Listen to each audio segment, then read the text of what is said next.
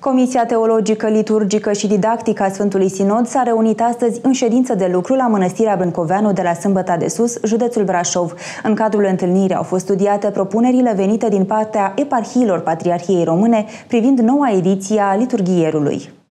Înalt preasfințitul Părinte Laurențiu, Mitropolitul Ardealului, a prezidat astăzi lucrările Comisiei Teologică, Liturgică și Didactică a Sfântului Sinod. Pentru consultare au fost invitați profesori de teologie, clerici, monahi, mireni și specialiști în domeniul teologiei liturgice. Am studiat împreună și am ales dintre multele propuneri și variante pe cele mai potrivite pe care le vom înainta preafericitului Părinte Patriarh Daniel, și ele vor fi supuse aprobării Sfântului Sinod, iar noua ediție a liturghierului, care deja este înnoită, va fi acum definitivată într-o formă plăcută, cu anumite îndreptări lingvistice, nu sunt schimbări de fond, avem o, o proporție pe care o respectăm în privința și acestei înnoiri,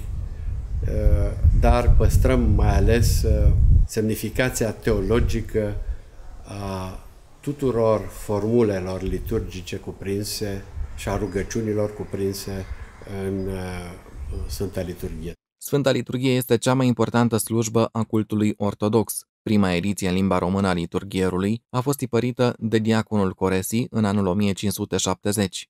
Avem uh, foarte multe ediții ale liturghierului, avem și mulți teologi liturgiști care s-au preocupat de uh, înnoirea liturghierului și amintim pe doi mari vrednici uh, liturgiști de-ai noștri, Părintele Vintilescu și Părintele Braniște, și apoi și îndreptările care s-au făcut cu fiecare ediție a liturghierului ne-au ușurat munca noastră ca acum, noua ediție pe care a verificat-o și la care a lucrat mult prefericitul Părinte Patriarh Daniel, să fie acum și, într-un fel, amendată de Sfântul Sinod, ca să fie într-adevăr o ediție sinodală.